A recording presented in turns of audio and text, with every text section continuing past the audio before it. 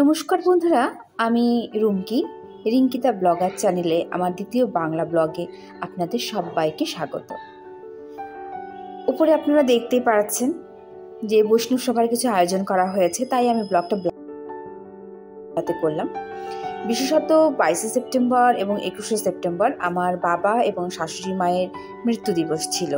তো সেই দিনটাকে স্মরণ করতে বৈষ্ণবদের উদ্দেশ্যে কিছু প্রসাদ বা ভোগ নিবেদন করার জন্যই এই আয়োজনটা করা হয়েছিল এবং সেই প্রসাদ আমরাও পেয়েছি এবং আমাদের কোচবিহার যে মদনমোহন বাড়ি আছে, সেখানে যারা দিন দরিদ্র বসে তাদেরও কিছু সেবা করানো হয়েছে। সেই ক্লিপটা আমার কাছে নেই।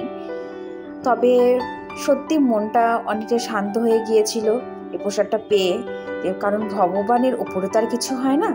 ভগবানকে মেনে তার উদ্দেশ্যে প্রসাদ নিবেদন করে সেই প্রসাদ খেতে পারলে আমার মনে হয় মানুষের জীবন অনেকটাই সার্থক হয়ে ওঠে।